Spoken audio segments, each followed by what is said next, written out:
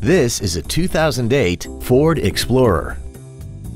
This SUV has a 5-speed automatic transmission, a 4.0-liter V6, and 4-wheel drive.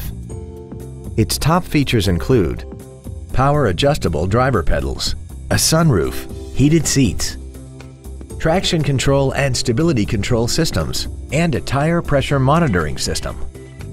The following features are also included. An audiophile stereo system, commercial-free satellite radio, big 18-inch wheels, roof rails, leather seats, side curtain airbags, three-point rear seat belts, rear seat child-proof door locks, memory settings for the driver's seat's positions so you can recall your favorite position with the push of one button.